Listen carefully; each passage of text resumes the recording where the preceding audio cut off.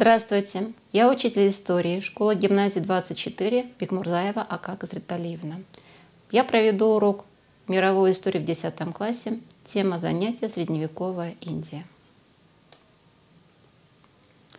На огромном полуострове Индостан в первые века нашей эры проживало около 50 миллионов человек. Население Индии состояло из многочисленных племен и народов, которые находились на разном уровне развития. У некоторых из этих племен еще сохранялся первобытно-общинный строй, другие находились на стадии зарождения государства, у третьих государства возникли еще в глубокой древности.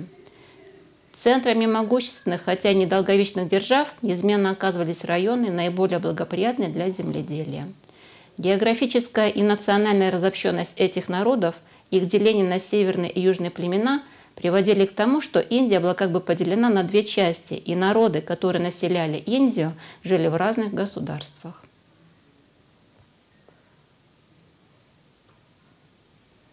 Но в то же время на протяжении всего Средневековья существовало и единство всего полуострова – основой которого служило единое культурное наследие древности. Это наследие выражалось прежде всего в индуизме и санскрите. Санскрит – это древний литературный язык Индии со сложной грамматикой. Само слово «санскрит» означает «обработанный, совершенный». Грамматика санскрита чрезвычайно сложна и архаична. Он считается одним из самых коллективных языков мира. Древние авторы с восторгом описывали плодородие магадских земель и множество дождей, которые выпадали здесь. Изобилие осадков помогало жителям Магадхи выращивать влаголюбивую культуру рис. Кроме того, здесь были богатые залежи полезных ископаемых, в частности, металлов. В начале IV века Магадха стала центром крупного государства – империи гуптов. В период своего наивысшего расцвета империя охватывала огромную территорию в Северной Индии – Правители этого государства отличались исключительно воинственным характером. Известно об их районах, об их походах в южные районы в Дикан. Они безуспешно пытались присоединить эти территории к своему государству, однако то, что не смогли сделать воины, прекрасно удавалось купцам. Именно их торговые караваны связывали жителей разных частей Индии. С древних времен наиболее удобным торговым путем Северной Индии был Ганг и его притоки. Торговцы торговали металлическими изделиями, солью, лошадьми, предметами роскоши. Окрестные деревни снабжали города продуктами питания. Широко были распространены деревенские рынки и ярмарки. Поскольку большая часть торговых путей в Индии проходила по воде, то в стране было развито судоходство и судостроение. Купцы из богатых государств Юга Индии были желанными гостями на рынках Европы. В первые века нашей эры они торгали, торговали в Византии, в Риме. Особый спрос на Западе был на индийские пряности, благовония, редкие породы дерева и ткани, также диковинные звери и птицы. При этом торговля велась как морскими, так и сухопутными караванными путями. О богатстве индийских купцов и исключительно высоком мастерстве ремесленников свидетельствуют найденные археологами золотые монеты великолепной чеканки – которыми индийцы расплачивались в далеких странах. Городах складывалось городское самоуправление. Во главе города назначалось городское собрание. В него входили главы наиболее влиятельных и богатых каст. Городское собрание собирало рыночные пошлины и налоги с ремесленников. Городское собрание также следило за порядком в городе и разрешало тяжбы.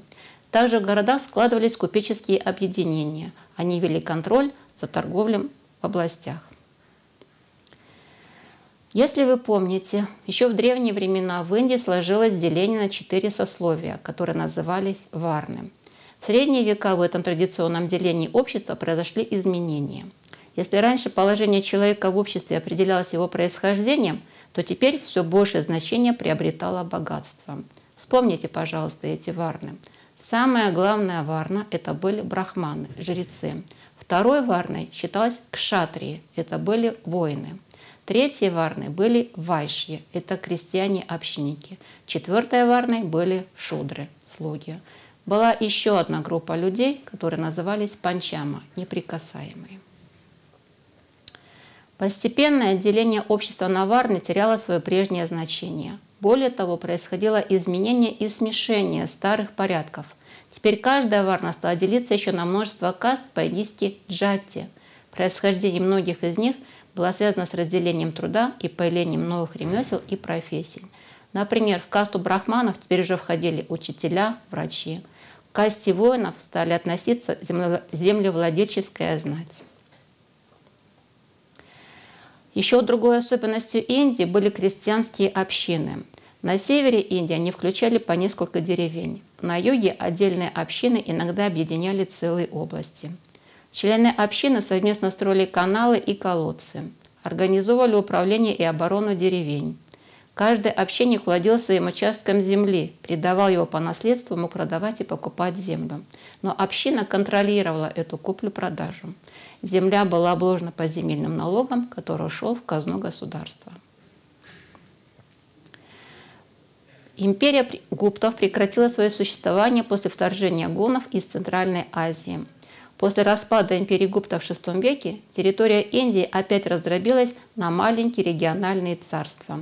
Небольшое ответвление династии гуптов продолжало править Магадхой до первой половины VII века, когда царь Харшавардхана окончательно покончил с династией Гупта и основал свою империю. Белые гоны, которые, возможно, были частью племен эфталитов, к началу V века обосновались в Афганистане со столицей Бамияни. Именно они явились причиной падения династии гуптов. Однако эти исторические изменения не затронули большую часть Декана и Южную Индию. В начале VIII века в Индию начинают вторгаться мусульмане – Первые походы мусульман в Индию относятся к середине VII века, однако они не принесли существенных результатов завоевателям. В 711 году Мухаммад ибн Касим захватил долину Инда, но дальнейшее продвижение вперед было остановлено после его смерти в 714 году. Индусы отчаянно защищались и проявили необыкновенное геройство. Завоевания мусульман проходили медленно. Храбрость и военная организация индусов были серьезными препятствиями. Только ко второй половине X века основателю афганской династии газневидов Сибук-Тегену удалось прочно утвердиться в Пенджабе. Его знаменитый сын Махмуд Газневи сделал 17 набегов на Индию.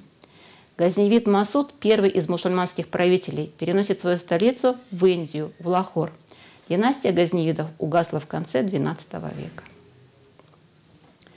И в это же время, в конце XII века, государство газневидов было завоевано Мухаммедом Гури. Но на этот раз мусульмане после грабежа индийских территорий не повернули назад, а начали утверждать свое господство в долине Ганга и продвигаться вглубь Индии. В 1206 году после гибели Мухаммеда Гури один из его начальников, Кутбадин Айбак, провозгласил себя султаном и основал на севере Индии государство со столицей в Дели – Поэтому она получила название Делийский султанат, который существовал с 1206 по 1526 год. Государственной религией Делийского султаната был провозглашен ислам, который насаждался в основном силой.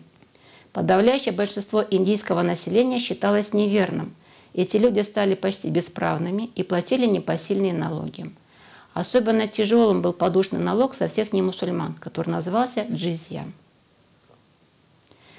Вершины своего могущества Делийский султанат достиг во время правления талантливого начальника Алладина Мухаммеда. Он прежде всего дал отпор монголам в конце XIII века в Северной Индии. Когда внешняя опасность миновала, Алладин провел ряд реформ, назначил воинам плату из государственной казны, повысил налоги, установил стабильные цены на пшеницу, ячмень, рис, сахар, масло, а также ткани, коней, рабов и тому подобное. В конце исключительно жестокого правления Алла-Адина владения Делийского султаната занимали весь Индостан. Однако это государство оказалось очень неустойчивым и вскоре после смерти своего основателя начало распадаться. В конце XIV века в султанате развязалась междуусобная борьба. И в это же время в Северную Индию вторгается Тимур, известный всем под именем Тамерлан. В 1398 году он захватил Дели, ограбил этот большой город, вырезал жителей и вернулся назад в Среднюю Азию. Путь, которым прошли войска этого свирепого захватчика, стал пустыней. С Делейским султанатом прекратили считаться даже правители ближайших к столице областей. Я предлагаю вам домашнее задание – поработать с документами. Задание первое. Из записок китайского путешественника Сюанзяня известно, что мясники, рыбаки, уборщики мусора, знахари, прачки, бродячие артисты, могильщики, палачи и подобные им живут за пределами города. На улицах эти люди или совсем не появляются, или держатся левой стороны, пока не дойдут до нужного места. Их жилища окружены стенами и расположены за пределами города. Ответьте, пожалуйста, на вопрос – каким кастам относятся выше приведенные группы жителей городов? К высшим или низшим? Каким ограничениям подвергались представители указанных профессий? И почему они подвергались таким ограничениям? И задание второе.